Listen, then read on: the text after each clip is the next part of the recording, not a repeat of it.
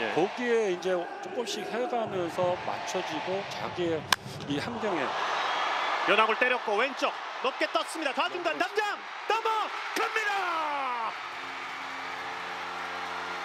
밀어서 홈런.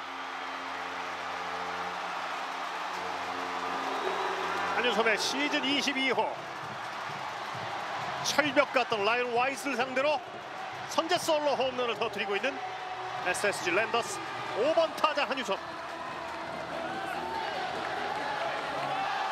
초구 2구는 변화구가 다 볼이 돼서 다 헛스윙을 했는데 결국은 3구째는 조금 더더 궤적이 투구 궤적이 높은 것을 한인섬 선수가 놓치지를 않았습니다. 예. 예. 세개 연속 스윙에서 세개 세 번째 만에 결국은 홈런을 만들어냈습니다. 한유섬 선수는 9월 첫 홈런을 때려내고 있습니다. 스윙.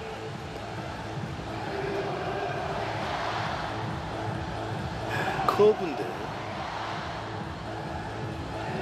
타구 속도 시속 157km.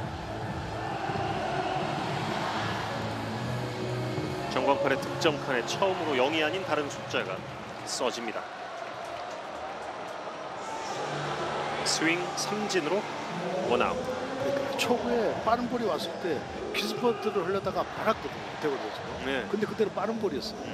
그 스트라이크 이후에 좀 변화구가 계속 연속해서 들어왔는데 전혀 타이밍을 못 맞추고 있는 오태곤 선수. 예. 글쎄 커브를 스트라이크를 던지려고 한 것인데 카운트상으로 봤을 때는 약간의 볼 쪽으로 유인구가 돼줘야 되는데 네. 그게 좀 높았거든요. 그거를 한희선 선수가 놓치지 않고 이거 홈런을 만들어냈습니다. 발사각도 26.9도, 비거리는 120m 측정이 됐습니다. 하재훈 스윙.